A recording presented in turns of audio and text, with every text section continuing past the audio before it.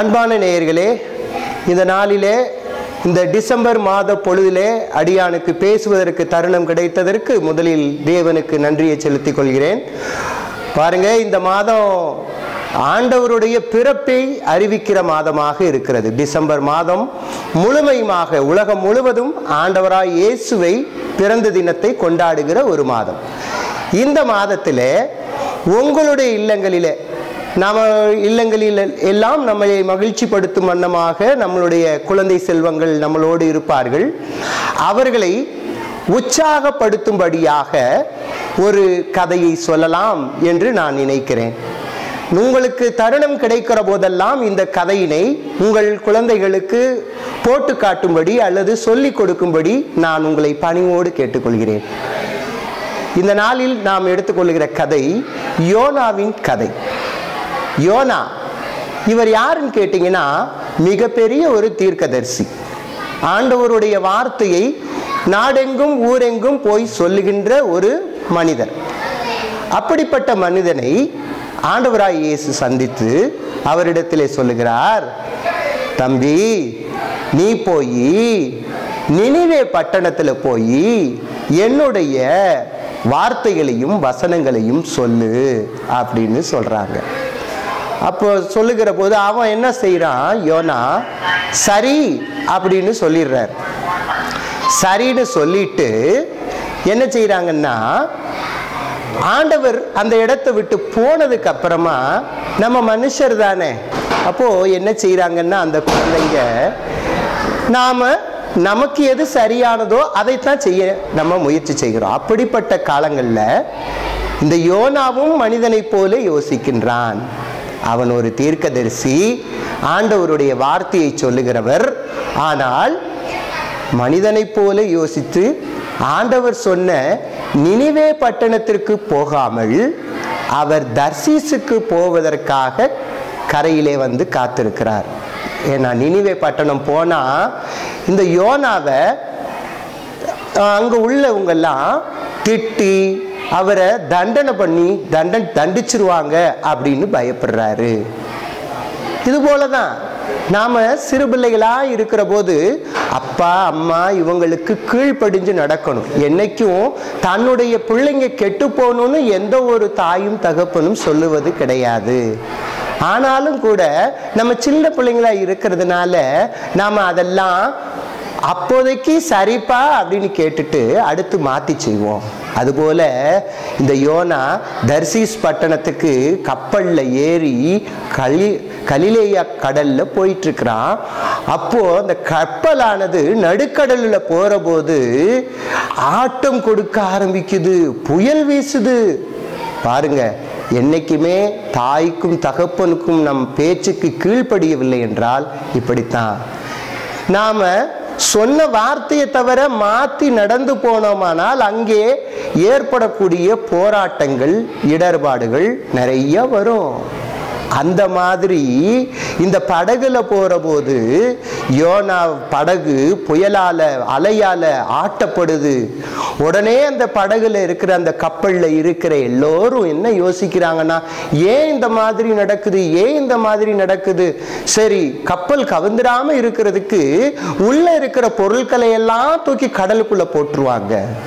அப்புறமும் அந்த கப்பல் ஆடுவதை நிறுத்தாது. அப்படித்தான் நம்ம வாழ்க்கையில நாம் சொல்கிறவங்க பெரியவங்க சொல்கிறத ஆசிரியர்கள் சொல்கிறத அப்பா அம்மா சொல்கிறத கேட்கல அப்படின்னா நடுக்கங்கள் வரும். கடைசியில் அதுக்கு மாற்று முடிவு கிடச்சி போகும். இதை தான் கடைசியில் அந்த கப்பலில் இருந்த யோனாவுக்கு தெரியும் நம்மளால தான் இந்த கப்பல் நடுங்குது அப்படின்னு.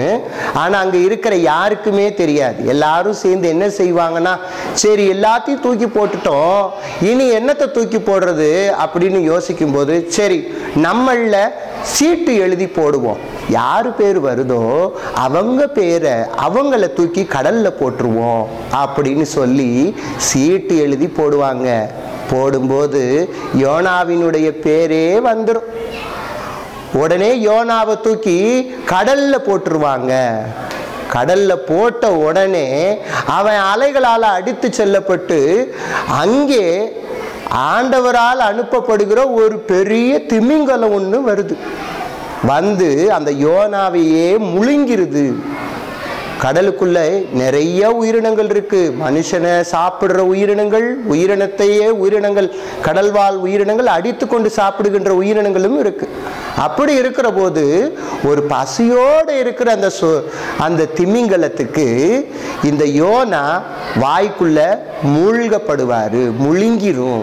முழுங்கின உடனே அந்த திமிங்கலத்துக்குள்ளாக உட்கார்ந்து கொண்டு அவர் அப்பொழுது கடவுள் சொன்னதை நினைத்து நினைத்து ஜெபித்து கொண்டே இருப்பார். இப்படித்தான் நம்ம நல்லது நடக்கும்னு நினச்சிட்டு நாம் ஒரு வழியை தேர்ந்தெடுத்துட்டு போவோம். அங்கே தப்பு நடந்து போகும். அப்போது நமக்கு சொன்னவங்க அப்பா அம்மா சொன்ன அந்த கருத்துக்களை ஐயோ எங்கள் அப்பா சொல்கிற போது நான் படிக்காமல் போயிட்டேனே. எங்கள் சார் சொல்கிற போது நான் எழுதாமல் போயிட்டேனே. அப்படின்னு எப்போ நினைப்போம்னா பள்ளிக்கூட வாழ்க்கையை விட்டு விட்டு போனதுக்கப்புறம் அப்பா அம்மா சொன்ன வார்த்தையை தாண்டி தண்டனைகளை அனுபவிக்கிற போதுதான் அந்த எண்ணங்கள்லாம் நம்ம மனசுக்குள்ள வரும். என்ன பண்றது? முடிஞ்சது முடிஞ்சது தான் வராது. ஆனா யோனா தீர்க்கதரிசி என்றபடியினாலே அவர் ஆண்டவருடைய கிருபை பெற்றவன் என்றவனாலே அவர் ஜெபித்து கொண்டிருந்தனாலே அந்த மீனினுடைய வாயிலிருந்து மறுபடியுமாய் முழு மனிதனாக உமிழப்பட்டான். அப்படி அந்த மீன் உமிழுகிற போது ஒரு கரையில் வந்து சேர்றான். அது என்ன அப்படின்னு பார்த்தா அது என்ன ஊருன்னு பார்த்தா ஆண்டவர் எங்கே போக சொன்னாரோ நினைவே பட்டணத்துக்கு போ அப்படின்னு சொன்ன ஊர்லயே வந்து அந்த மீன் அவனை வாந்தி பண்ணி போட்டுச்சு. உடனே அந்த நினைவே பட்டணத்துக்குள்ளார போய் அவன் ஆண்டவரை ஜெபம் பண்ணிட்டு அவர் சொன்ன வார்த்தைகளை எல்லாம் சொல்ல ஆரம்பிச்சிட்டான். அதுக்கப்புறமா அங்க இருந்த ஜனங்கள் எல்லோரும் அவனுடைய வார்த்தைக்கு கீழ்ப்படிந்து மனமாற்றங்களை அடைந்தார்கள். அவன் போக பயந்தது அங்க உள்ளவங்கெல்லாம் தண்டனை கொடுப்பாங்க அப்படின்றதுக்காகத்தான்.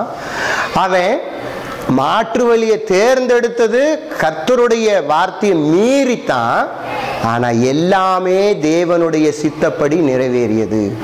இதை போலத்தான் நீங்களும் உங்களுடைய தாய்க்கும் தகப்பனுக்கும் பெரியவர்களுக்கும் ஆசிரியர்களுக்கும் கீழ்ப்படிந்து நல்வழியில் நடந்தீர்களானால் முடிவில் உங்களுக்கு பரிபூரணமான வெற்றியும் ஆசீர்வாதமும் கிடைக்கும். நன்றி.